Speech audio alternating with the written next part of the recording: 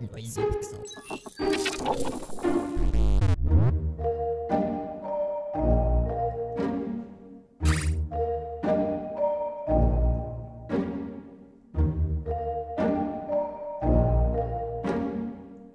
extensive list of Otome titles continues to grow, from action thrillers, public domain casts, time travel to non-sequential amnesia and more. So what could possibly be next? Well, here we are with a mafia-themed thriller, Piofiore Fated Memories, which has made its way to the Nintendo Switch in the West. With it, we get some great looking anime boys and a decent opening, but somewhere along the way, romance can't seem to hold together this gangster story.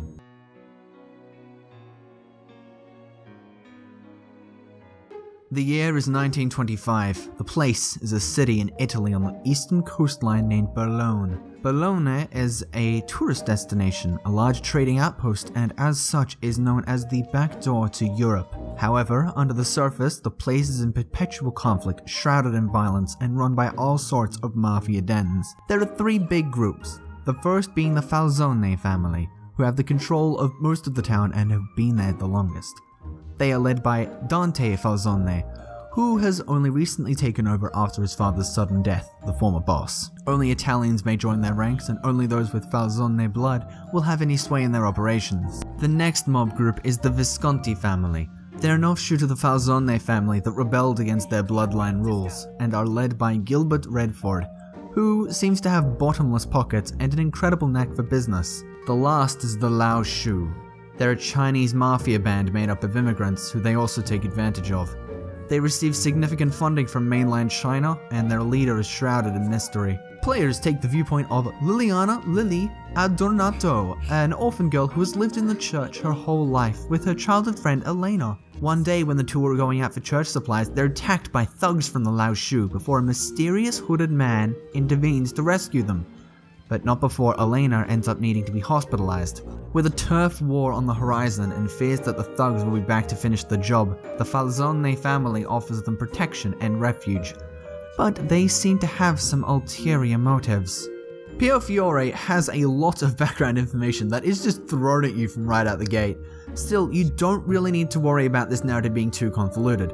The title repeatedly reinforces all the basic facts, making it easy to pick up what's going on, especially since whenever the game's story wants to get complicated, it provides with a little meanwhile feature. If you choose to follow the prompt for this nifty little thing, pulls perspective away from Liliana to show you what else is happening. It's got a very stylistic transition and I love it. The UI in Piofiore is really nice and clean, especially at the beginning of the game with like the extra menus. The text boxes tell you that this is clearly the same engine as all the other Otomate titles, but it adds enough flourish to make it stand out. Really, the presentation of Piofiore doesn't fall much short of immaculate. The CGs are very well drawn, the cast is filled with incredibly stylish looking characters, and the film reel transitions are fantastic. The audio is great too, with several standout songs as well as some kick ass background tracks.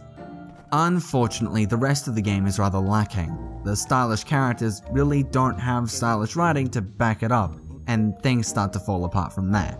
If you're a fan of playing a damsel role in distress, then Liliana is the heroine for you.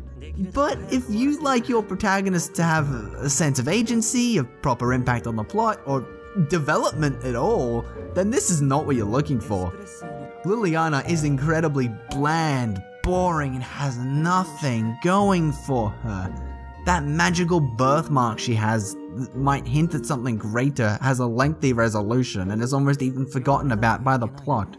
Her love interests aren't much better, as they're the ones responsible for either kidnapping or holding her hostage for such long periods of the game, which prevents her from doing anything.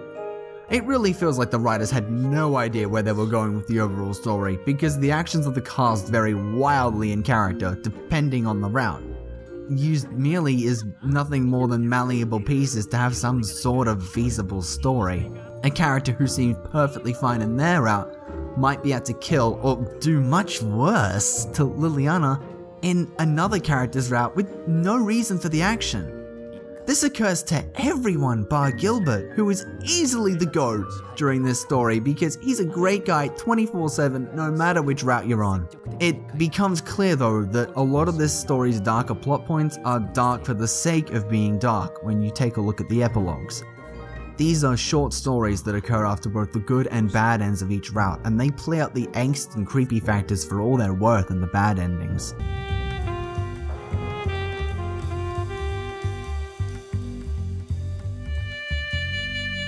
Hi,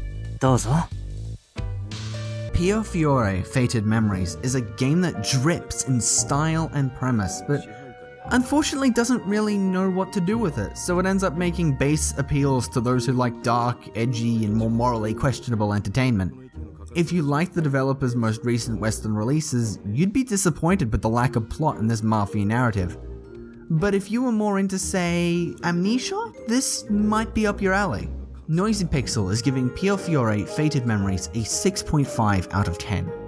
Thank you guys so much for watching. Noisy Pixel is a group dedicated to bringing you guys the best news, reviews, previews, and more. Please stick around and, you know, subscribe, read the review on the site at noisypixel.net, and check out our podcast, which is somewhere. Give me some good stuff with the de detective characters if you can. I'm.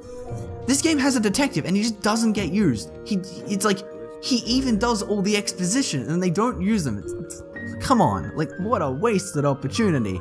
I should have put that in the actual review. That's a really good fact.